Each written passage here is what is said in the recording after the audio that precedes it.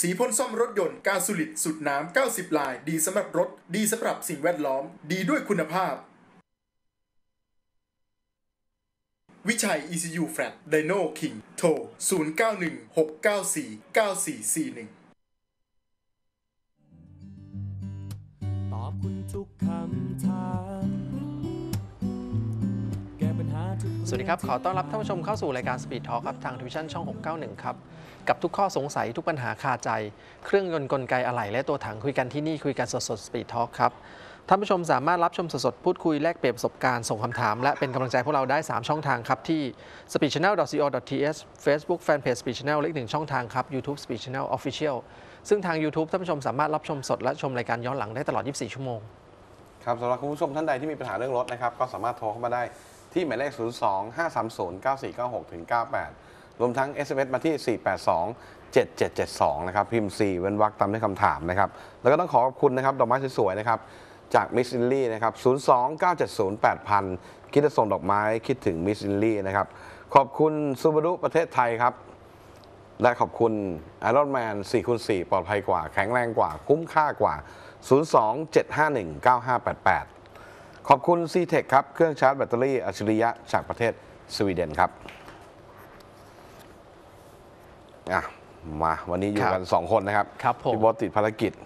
เมื่อวานฮะน้ำท่วมกันเลยทีเดียวโอ้โหนะครับ ก็ทราบกันดีอยู่แล้วฮะท่วมเช้ามานี่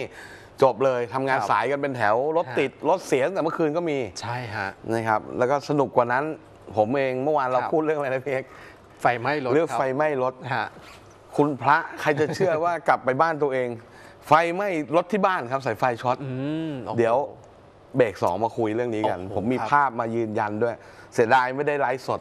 จริงๆ มันไม่มันไม่มีเวลาไลฟ์สดคแล้รัวบตอนนั้นก็ทำไงให้ไฟมันดับก่อนฮะเดี๋ยวเราให้ฟังสาเหตุนี่ก็เกี่ยวเนื่องมาจากน้ำท่วมนี่แหละครับนะครับ เพราะฉะนั้นมันก็เป็นเรื่องหนึ่งที่อาจจะเป็นอุทาหรณ์ให้หลายๆคนก็ได้อืมนะมาดูเรื่องแรกของเราก่อนดีกว่าครับเอาเรื่องก่อนกับแว่นตา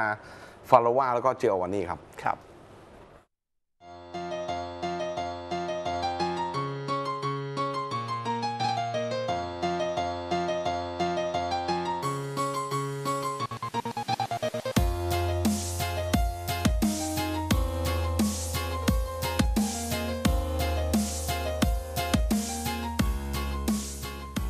สวัสดีครับคุณผู้ชมครับ สวัวันสดีนี้ครับเราสองคนใน Space Channel เราก็มานำผลิตภัณฑ์มานำเสนอคุณผู้ชมนะฮะครับ ต้องบอกว่านี่คือแว่นตาที่ต้องบอกว่าเป็นแว่นตาเราขายกันเป็นเซตเลยทีเดียว อ่าฮะต้องบอกว่าคุ้มมากกับชุดคุ้มนี้ครับต้องบอกว่าแว่นตาตัวแรกที่ผมนำเสนอคุณผู้ชมยี่ห้อนี่เป็นแนวสปอร์ต แนวสปอร์ตยี่ห้อฟาโรวาครับ ฟาโรวาเนี่ยผมบอกว่าเหมาะตรงไหนคุณผู้ชมเนี่ยก็คือ 1 ชุดเนี่ยนะฮะประกอบไปด้วยโครงแว่น 2 อัน ตัวแว่นเนี่ยมี 2 อัน อ่า ในในหนึ่งกล่องนะครับ นะครับ มีเลนส์ให้เลือกถึง5เลนส์ครับผม นะฮะ อย่างที่ผมชอบตัวนี้ก็เพราะว่าอย่างตัวเนี้ยเป็นเลนส์แบบโพลาไรซ์ในหนึ่งชุดก็จะมีตัวนี้ที่เป็นเลนส์โพลาไรซ์นะครับอ่าแล้วก็ เวลาที่เราขี่รถมอเตอร์ไซค์ไงที่เราอ่าขับตอนกลางวันเนี่ยอย่างเงี้ยเราพกไปอย่างเงี้ยนะฮะเราก็ใส่แว่นตัวนี้ไปปั๊บในขนาดกลางวันที่เป็นแดดเป็นสีดำเป็นแว่นอ่าดำกันแดดครับผมตัดแสงนะครับ พอตอนกลางคืนปุ๊บ เราก็ปุ๊บเก็บแว่นตัวนี้หยิบ สีเหลืองขี่รถกลับบ้านเนี่ยสบาย จริงๆ ความพิเศษของตัวนี้คือสามารถเปลี่ยนเลนส์ได้อย่างง่ายดายครับอ่า เปลี่ยนให้ดูนะครับเพราะว่าเนี่ยสามารถถอดเปลี่ยนแค่เนี้ยแล้วเราสมมติอันดำนี้เราอยากจะเปลี่ยนแนว ก็สามารถใส่ได้อย่างง่ายดายทีเดียวพี่โบ๊ทนะครับ แค่นี้เอง แล้วก็ต้องบอกว่าใส่แล้วก็รู้สึกสบายตานะใส่แล้วก็รู้สึกว่าผมใส่สบายนะแล้วก็อีกอย่างหนึ่งตรงนี้เนี่ยตัวสปอร์ตตรงนี้เนี่ยผมว่าเหมาะกับพี่น้องชาวไรเดอร์ทั้งหลายได้หมด เพราะว่ากันลมจะเล่นกีฬาทางไม่ว่าน้ำ ไม่ว่าจะเป็นมีจักรยาสาน ย มอเตอร์ไซค์ขับรถ อ่าได้หมดสายนะครับคล้องคอให้ด้วยนะฮะอ่ากันหลุดเลื่อนเล่นมีสายรัดเรือด้วย เล่นเจ็ตสกีอะไรก็ครับไม่ปลิวหายไปหนึ่งชุดเนี่ยนะครับจะประกอบไปด้วยเนี่ยโครงแว่นสองอัน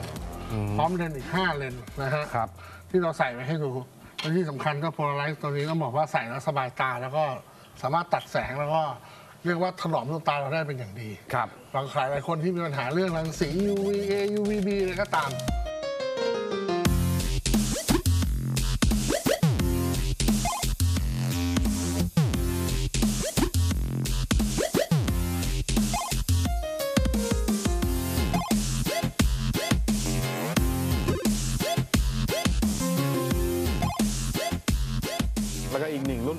อีกหนึ่งรุ่นครับครับผม เป็นแนวแบบดีไซน์แบบแฟชั่น อ่าเหมือนกันครับหนึ่งชุดก็จะประกอบไปด้วยตัวกรอบเลนส์ที่เป็นอย่างอันนี้เป็นกรอบทอง อันนี้เป็นอันนี้เป็นกรอบเลนส์ดำ ดำอ่าก็เลยเป็นสีอะไรนะ เป็น black chrome ครับ อ่าอันนี้ก็จะเป็นกรอบทองนี่เนี่ยใส่ให้ดูครับนะครับได้หมดเข้ากับทุกหน้า ได้ไหมหน้าผมเพราะว่าหน้าใหญ่ๆก็ใส่ได้นะสบายหมดแล้วก็ข้อจุดสำคัญก็คือเหมือนตัวสปอร์ตเหมือนกันๆจ้ะตัวนี้สามารถถอดเปลี่ยนเลนส์ได้อย่างง่ายดายเหมือนกันครับ เบาด้วยนะน้ำหนักเบาเบานะคุณผู้ชมน้ำหนักเบามาก น้ำหนักเบามาก ครับผมใส่แล้วน่าจะไม่ลำคาญเพราะว่าแว่นที่มีน้ำหนักเยอะๆเนี่ยใส่นานๆแล้วอาจจะลำคาญ ใส่แล้วต้องบอกว่าสบายตาตัดแสง นะครับ แล้วก็ใส่ดีทีเดียวน้ำหนักเบาใช่ ทำให้เรารู้สึกว่าไม่ลำคาญเวลาที่เราใส่นะตัวเลนส์ครับทั้งสองรุ่นต้องบอกว่าเป็นวัสดุที่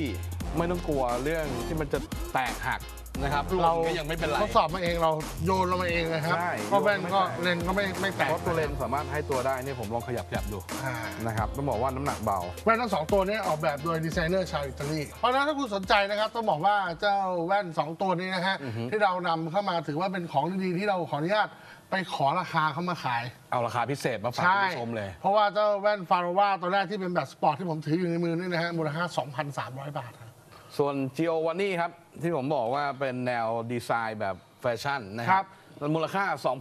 2,500 บาท ถ้าคุณผู้ชมสนใจแว่นทั้งสองแบบนี้นะครับ โทรเข้ามาสั่งซื้อได้ครับ ที่หมายเลขโทรศัพท์ 064 141 4004 หรือว่าสั่งใน ID Line ก็ได้ครับ ที่เราขึ้นไว้ข้างหน้านี้ LSP ขีด global นะครับ อย่าลืมนะครับ ค่าจัดส่งชุดละ 100 บาทครับ แล้วก็ต้องบอกว่าคุณจะได้มีความครอบครองเป็นครับแว่นเท่ๆ แบบนี้ทั้งแน่นอนสองแบบ ไม่ว่าจะเป็นแนวแฟชั่นหรือแนวสปอร์ต กับเจ้าฟาโรวาแนวสปอร์ต แล้วก็จิโอวานี่แนวแบบแฟชั่นครับติดต่อเข้ามาครับ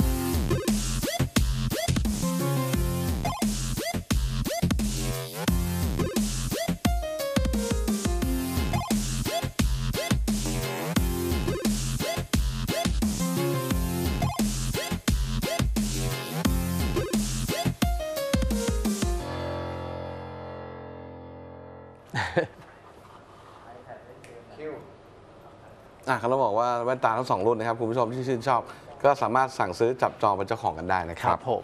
มาดูเรื่องคลิปดีกว่าวันนี้ ฮะคลิปแรกครับเขาใช้คำว่าโผล่มาได้ไง อือหือไปดูว่าอะไรโผล่มาฮะ ครับ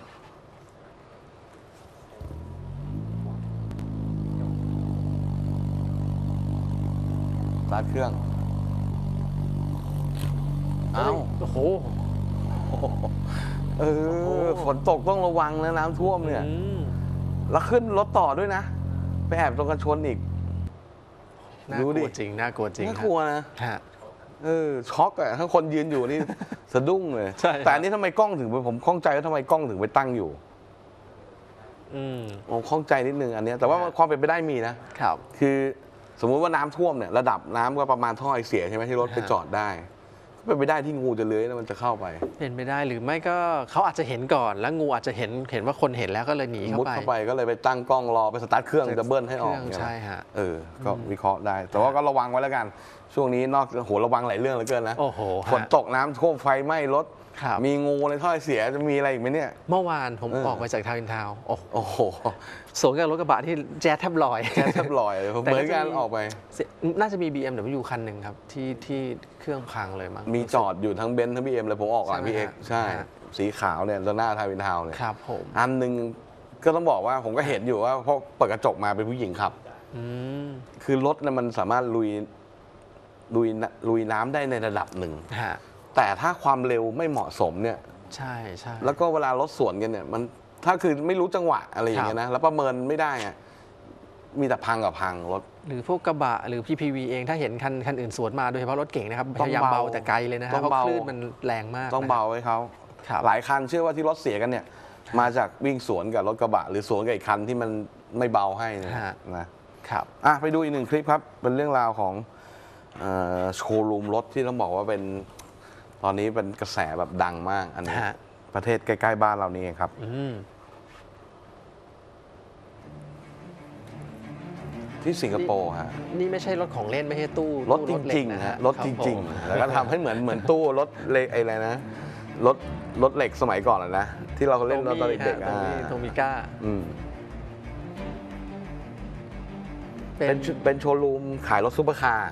ครับนะอ่าออโตบานมอเตอร์ที่สิงคโปร์ใช่ไหมอ่าฮะฮะใช่โอ๋อสร้างตึก 15 ชั้นนะครับ แล้วก็จัดวางรถ 4 แถวใช่นะฮะประมาณ 60 คันได้ฮะอ่าแล้วต้องก็บอกว่าขายจริงด้วยนะ ขายจริงใช่ไหมฮะ คนที่จะซื้อเนี่ยคือเลือกในแคตตาล็อกเลือกในดูในอะไรเสร็จปุ๊บเรียบร้อยจะเอาปุ๊บกดแล้วเป็นลิฟต์แล้วมันจะเลื่อนลงมานะอืมคันที่เราเล็งไว้ก็จะลงมาข้างล่างให้เราลงมาให้ชมกันใกล้ๆเลยนะฮะ ใช่